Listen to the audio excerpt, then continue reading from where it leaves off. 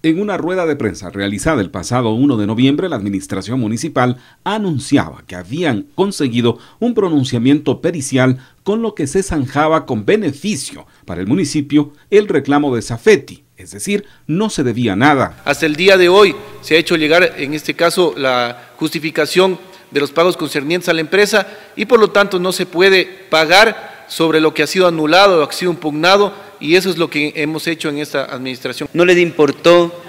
que se le iba a cobrar a Loja 12 millones 800 mil dólares, casi 13 millones de dólares.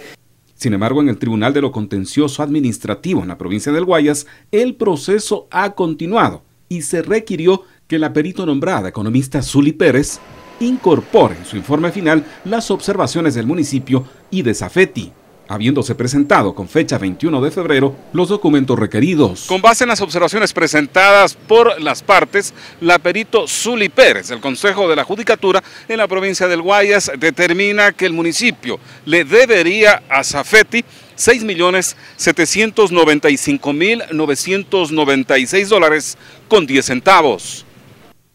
Luego de sustanciarse los documentos presentados ante el tribunal, el pasado 14 de marzo, se notificó a las partes y a la Procuraduría General del Estado para que en el término de tres días presenten sus pronunciamientos aceptando u observando lo señalado. Para Mundo Visión, Ilvar Jaramillo.